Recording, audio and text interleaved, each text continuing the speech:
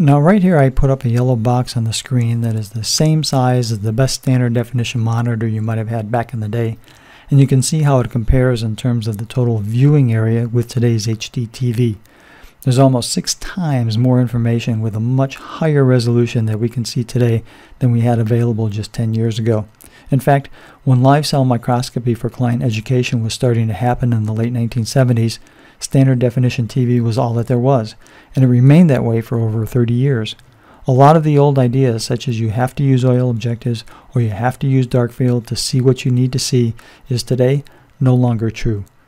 When you have imaging through Olympus level optics pushing through a Biomedx HD camera system, you don't have to use oil objectives, but you can if you want. Regarding the idea that you have to have dark field is today, incorrect. When you have excellent phase contrast as you see here, plus the ability to flip back and forth to dark field as well, it just changes a lot of that old information.